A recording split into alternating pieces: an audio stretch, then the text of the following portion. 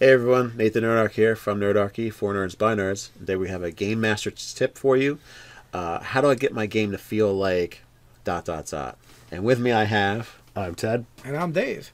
All right, so we kind of want to explain the not the not like the setting or the theme in general, but we want to say, well, how do I get to that theme Yeah, from where like, I'm at? You you have a certain backdrop that you want to be prevalent in your campaign. In the game that you're running, it's overarching. It's always there. You know, it could you know, you your game could even be rev- revolving around this thing. But how do you make it feel like the thing? And, and instead of breaking down every single uh, genre trope uh, and, and possibility we can think of, we, we, we're going to pick a couple examples and we want to talk about the process because if we can get you guys using the process to figure this out, you know, it'll be far more helpful to you than us just spoon feeding you. Well, this is the war backdrop, drop. This is a nautical backdrop, and this is you know a horror backdrop. And the mechanisms there will probably be a lot of similarities. Right. Yeah. So we'll start off with war. Okay, so what you what you're trying to do with war or any any of these really is you're trying to evoke certain feelings. You want your players to feel like there's a war going on regardless of what kind of adventures you're running. Right. Like you could be running a standard D&D campaign with this background and they may not even be taking part of the war. Right. And now I, I wouldn't think you would want to do that eh, since you went through the trouble of staging the war. Be really grimy, grimy war, grim kind of outlook if, on if, life there. if you want to give the players, you know, something else to do until you know they've built up enough, you know, clout to be able to go be influential in the war, you could definitely do it. Yeah, or they keep brushing up against this thing that's going on, which is the war. So, so how do you make your players actually feel like they're in the, in in this this war backdrop, this war themed campaign, without actually being in the war? right. Well, every every cliche D and D game starts off with the the players in a tavern. Hmm. So what what is the what is the problem that the tavern is going to have in a war theme? There's refugees; they need a place to sit, so they go there, and and um, you know, or there's just there's just more people. So, you know, so the taverns are overcrowded. Maybe you can't get a room because they're all booked out. The prices are through the roof because there's more demand. So s- There's a shortage of everything. yeah, the, and yeah, then they might miss a shipment. They might not get the next shipment of food, so they're actually running out of everything. right. They they might just be out of stuff. Like you know, I'm at the tavern. I drink wine. Well, you can't get any wine. Uh, because you know because the nation we're at war at, with is the ones that import the wine Uh, you know or you know or uh, or a uh, supply caravan that was, a merchant caravan that was supposed to go through got ransacked by brigands because that's also a side effect of war oftentimes So, uh, t- Ted, you, I feel like we went more specific with talking about the tavern. We want to back out a bit and say, what do the PCs want to feel? You want to when they when they try and do anything in the world, they want to feel scarcity. They want to feel kind of like an overwhelming of what the the status quo system is. So, like more people where there's not normally supposed to be people, like traffic jam kind of feel to things. Like there's too many people, not enough resources because they're being displaced or they're being run off their land that they were producing food on and it either got burned or got eaten up by the by the the army or, or acquired for the the army. So you have that scarcity feel and mindset. You have that kind of feel and mindset of you don't really know what's going to happen to where you are right now. I also feel like there's two emotions you want to play with. Um, predominantly, you know, in this kind of a background, fear and anger. Hmm. Frustration. Yeah, you know, So, yeah, so you're, you you know your characters or the the common people, they're going to be maybe not so much the players, but the common people are, are constantly going to be afraid, be afraid because when war escalates, you know, not modern day war, but like in medi- medieval times, you know, the common people are by far in danger more often. Mm-hmm. You know, you know, crime goes up. You know, there's there's going to be more brigands. There's going to be deserters, and you know, not only that, you have all these men and women who've been trained for war, right? Who who may be deserters now, and if your if your primary skill set is violence, and you're no longer you know employed by the army because you left, well, what are you going to do? Like you know, um, and, and sometimes even like even like a good example is Game of Thrones, where the army basically starts acting like bandits and criminals, and, and robbing and stealing from from the common people and taking their stuff. Yeah. You know, so you know, which ties into the you know the scarcity, but also then there's this this fear of is you know that the any soldier you see or anyone with weapons and armor, you know, are they here to protect you? Are they here to murder you? Are they here to rape you? Are they here to take your stuff? You know, Are they so- here on the on the pretense of protecting you, and then they're going to do the former, th- you know, all yeah, so things? like uncertainty. yeah, You know, so you know, so you definitely like fear, anger, uncertainty, that scarcity uh, mindset. You know, the, the maybe th- there's now tariffs on things that there wasn't before that you know you can't get. Uh, anytime you have war, you know you're gonna have famine and plague. So it's gonna so diseases are, are gonna be more more uh, readily available. Um, you know your, your your places where you go for you know even medicinal healing. You know they're gonna they're they're gonna be overbooked. Yeah overwhelmed yeah wor- worked you know and like you could tie this in by little things like you know all of a sudden now people on the streets they wear white cloths tied around their face you know mm-hmm. thinking that that'll help stave off plague or mm-hmm. sickness. Or carry a particular herb or flower with them. I think they did that during the Black Death. yeah yeah so there's definitely things like that. So so there's definitely some things you know for that war background that you want to that you want to go after like so you and and this is like it doesn't matter what the kind of campaign it is like when you pick a certain kind of campaign you're always really striving to invoke certain kinds of emotions. You know so that's what you have to look at you know what are the emotions what are you trying to make your players feel and then come up with the thing right? So we did war well what about like a nautical campaign? Uh you know what comes to mind when you think of that what what is it you're trying to do for me i know a lot of people are going to be like well the sea the ocean but no it, it's uh, wonder and exploration That's what I was thinking. Yeah, you've got Yeah. the, the exploration, you've got the open sea. you know what's what's what's under the what's over the next horizon um what you know what's on that island you know that that you know unless you're going for a specific type of thing but like that would be a big part of the nautical campaign to me Yeah, the unknown. yes but not like n- never so much not not in the scary way of the war where you're like uncertain like what your Yeah, fate it's, is it's it's not uncertainty. It's it's the you know the the revelation of the unknown.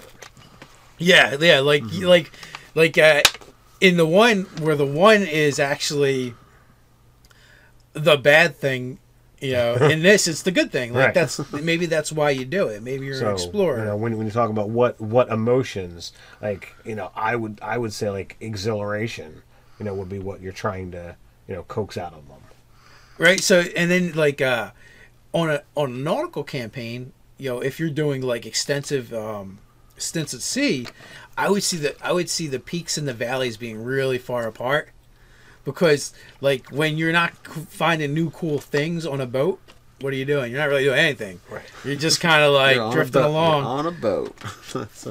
Yeah, you know you're, you're just looking off into nothingness, you know, for a long time. So, so, so, so then, you know, you know, for that particular campaign, what you're going to want to do is you're going to want to infuse it with a lot of uh, terminology that would be nautical, so that it's going to require more research because, you know, where you could actually run a, a war campaign without actually knowing anything about war uh, because if unless the players are directly um, engaged in the war themselves or interacting with a lot of the soldier NPCs and military command, like it's not relevant.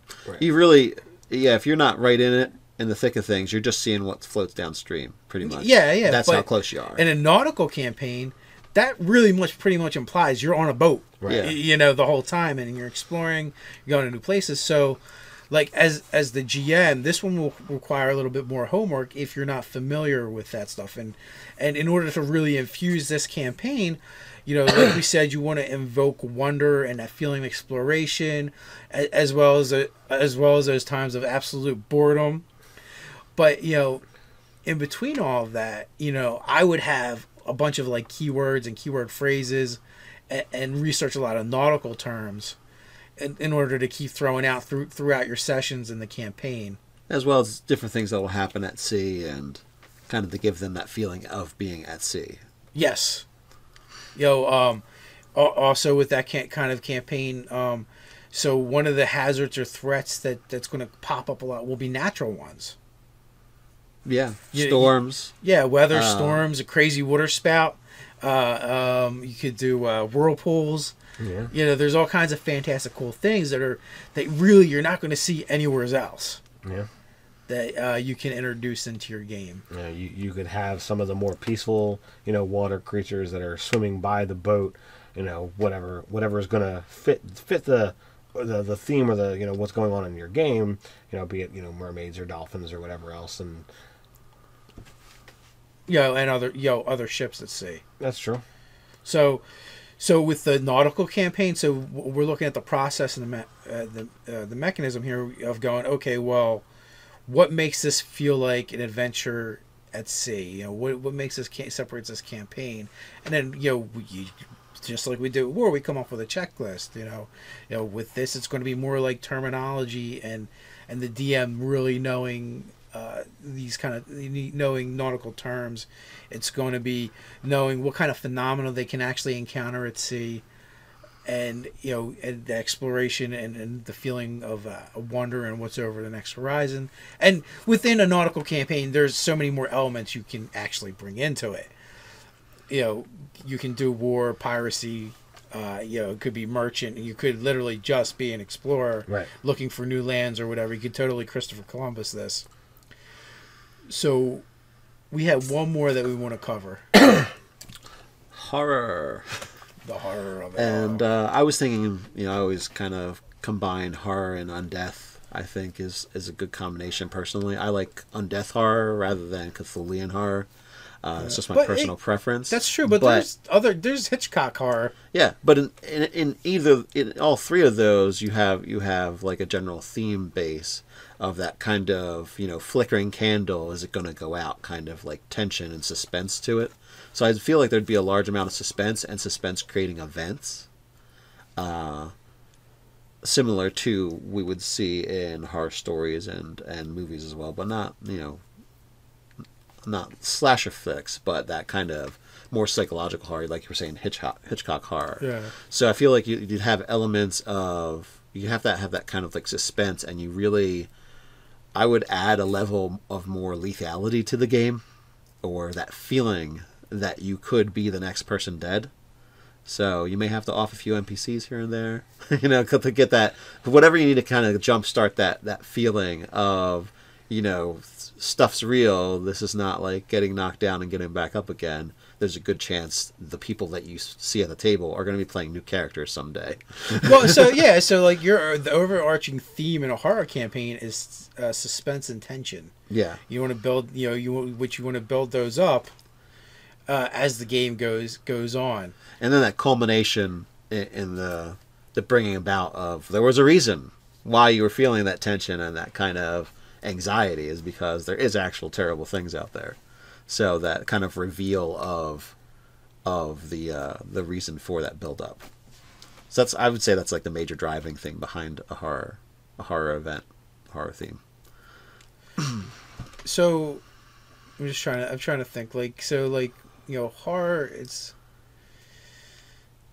I feel like you have a bit of a mystery there because if you knew everything, you wouldn't be in suspense. Like well you know, yeah that's the the unknown that, Yeah. that's what you know you know really horror is kind of about like the bread, breadcrumbs you know leaving the, Yeah. the trail of breadcrumbs crumbs for your players to follow and they, they never quite, quite figure out what kind of you know loaf of bread it's coming from until it's too late yeah uh, you know, it's so- the zombie loaf.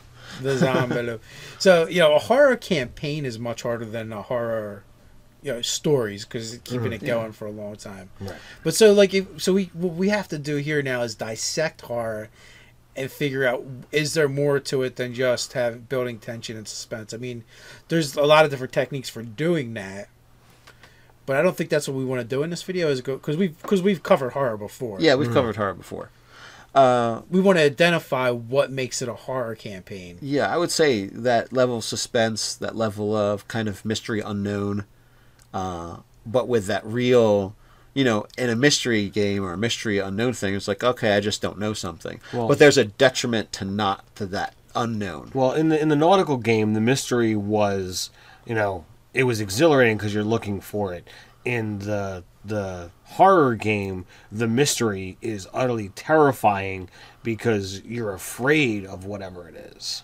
Yeah, you have an overall feel that what's going to happen when you discover if you discover it too late is that people will die because of it or there, there's going to be a there's going to be an event that that harms you in some way by you not not understanding something fast enough. You know, just So there's that kind of time limit suspense feel to it, like that you're there's this anxiety over completing what what you have before you. Mm-hmm.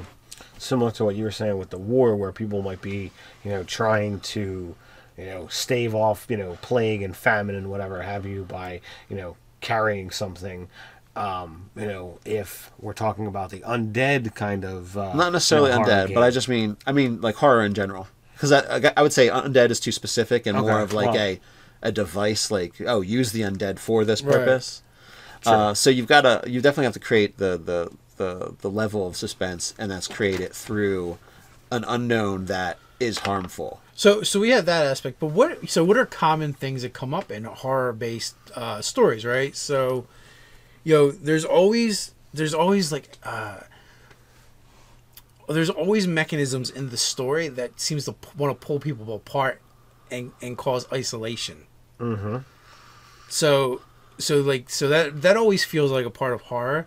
So like I feel like uh, as the as the GM, like if you're running this kind of game, you you want to create lots of opportunities to isolate the players from each other. through their own choices and through other and through Yeah, ma- mainly non-choices. a lot of times through their own choices. You know, sometimes you know you'll do the chutes and ladders approach because that you know does happen. Uh, but you don't want to make that you know your go-to. It's better if you if they do it on their own. right. yeah. Um. so I, I feel like you know for the horror so tension suspension suspension um you know isolation is a really good way to, to do that you know you want to you want to tackle psychological triggers so i feel like those so, so i feel like the at the core of a good horror game is psychological triggers Okay. um, and and that's going to define that kind of game you're playing, and you constantly so you want to constantly kind of uh, spread them throughout your game. That that's the me- I believe that I believe in this case that's the mechanism. Okay. You know, um, horror is a is a little tougher because it's broad because you can actually do horror on top of anything else. Right. Yeah. you know, uh, you know, what, other than just itself, you know, and the, the part that makes us horrible horror is the horrible things that happen, you know, both on and off camera. Right.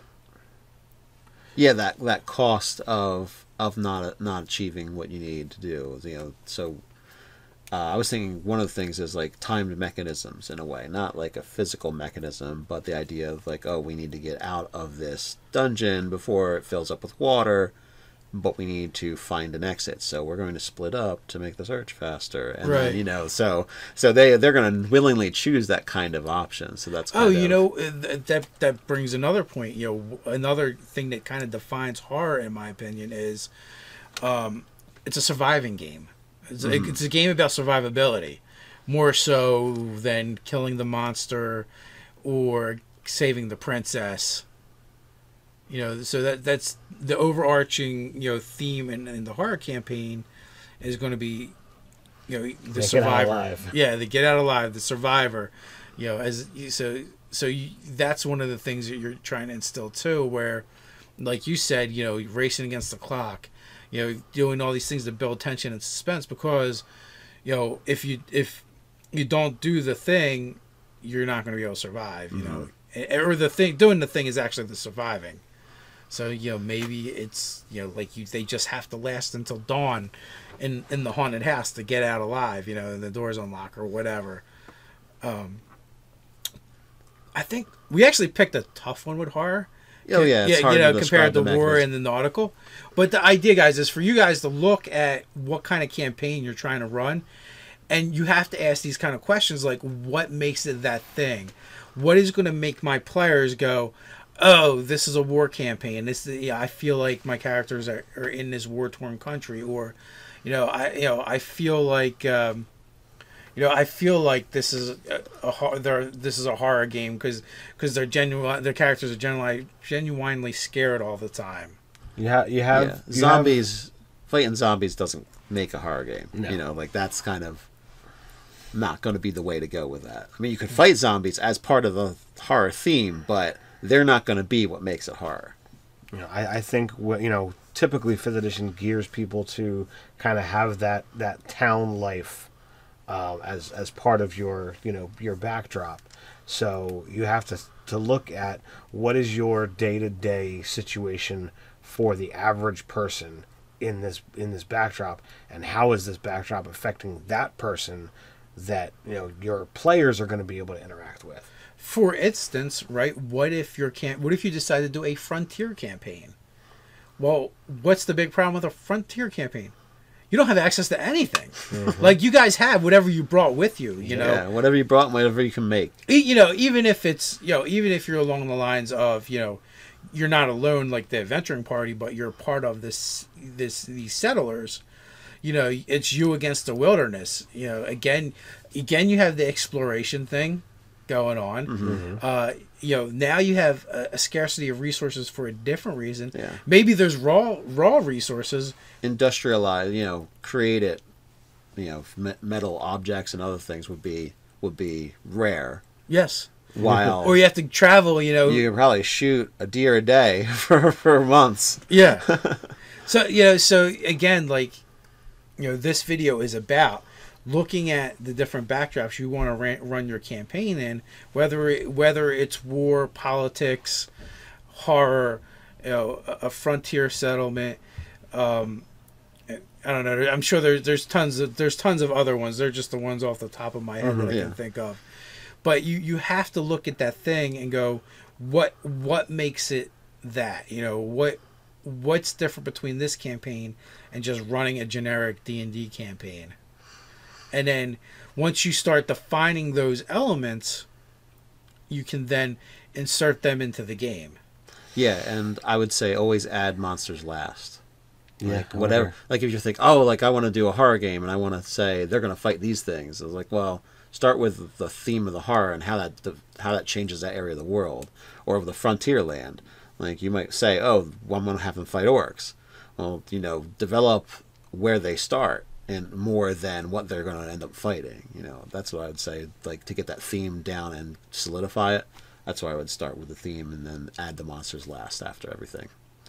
So what are some other themes we can think of off the top of our heads? Well, when we talked about you know uh, high magic, uh, you could talk about you know lo- low magic, you know, or, or you know non-existent magic. Um, you- you could technically have uh, you know if you want to branch outside of, of D and D, you could have a post-apocalyptic.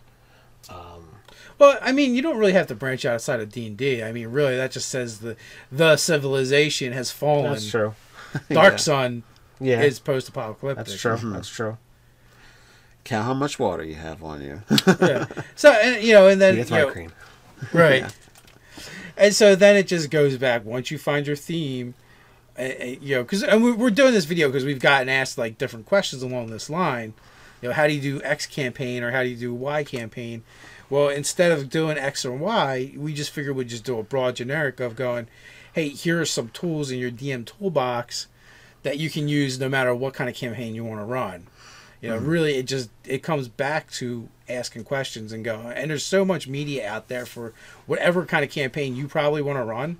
There's there's books and movies and comic books on that subject that you can go that you can go and watch and do some research and go, well, what makes me, you know, what makes that feel like this? Yeah, and try and put yourself in the place of some of the the, peop- Characters. the characters dealing with that. I mean, like, well, what kind of what what would I be thinking? What would be running through my mind, and what would I are be the feeling? hardships? Yeah, what are the hardships? What are some of the benefits or ease of living in that scenario?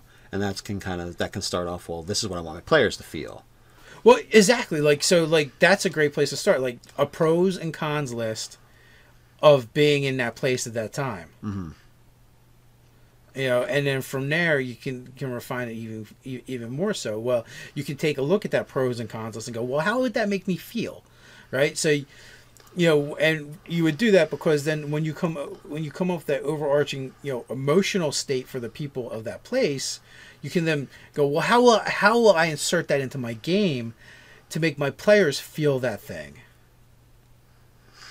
And then so so I mean that's kind of that like if you if you have an idea for a campaign and you have no idea where to go with it, you know, you know, see, search out media and then go and then do a pros and cons list of you know having to go through that those times and be in that place it might be all cons it might be all pros. You know depending on what kind of what, what kind of thing you're doing usually it's going to be both. But then once you identify them you can then you can then like uh, just chunk down from there and just break them down. Um, so i guess a, a good example would be like so if you're doing war like the con is like the scarcity we talked about. And from scarcity you can go we can chunk that down even further going well well what exactly would be scarce scarce and and, and what are the effects of that? Well there's not as much food there's not as much booze there's not as much uh, weapon because it's being it's all been taken for the army. So what what does this mean? Well what there is is going to be more expensive. Uh, scarcity another thing like okay uh, less places to live because places places are being destroyed and razed so what does that mean? It means more people less space. Um, and then you might go cons. Well what what is the con? Well i guess you can profit during times of war as well if you're if you if you have something to sell to one side or to the other or both. Oh yeah, so the pro, you know, if you're a merchant, you're going to be making some money if you got if you got the goods or access to them. or you know or if you're a bandit.